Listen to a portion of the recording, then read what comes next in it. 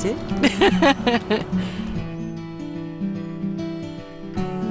It's got purples and greens and blues. Looks like something out of Star Trek. It looks very complicated. Am I gonna break it? It looks like a little solar panel. It's like a little world in a piece of glass. Look how tiny that is. It looks like a mirror. It's beautiful. What is it? So this is what is this is what makes my computer tick. This is what makes it all happen. This little thing. This is so tiny. Stuff like this just boggles my mind. It's amazing. That's it. That's the that's this is the process. This is uh, we can create presentations. We can make PowerPoints. We write reports. It saves me time and it makes me money. And what more can you ask? I mean, if it wasn't for this, I wouldn't have a job.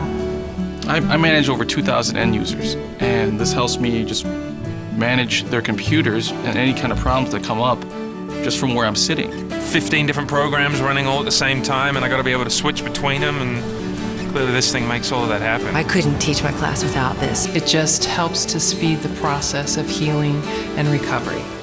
Smart.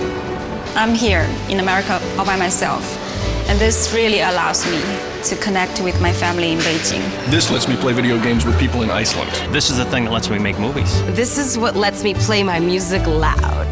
This little thing is my lifeline to the world. I think that's pretty fantastic that this little thing makes so much possible.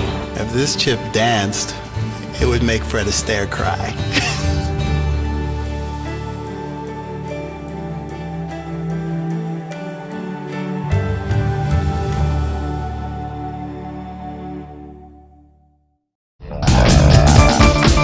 It's time to multiply.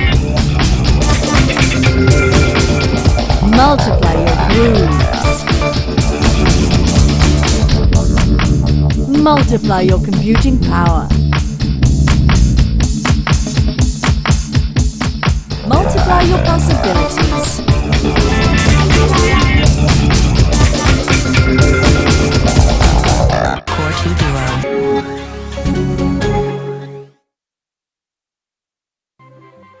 Sounds like it's graduation day at the factory.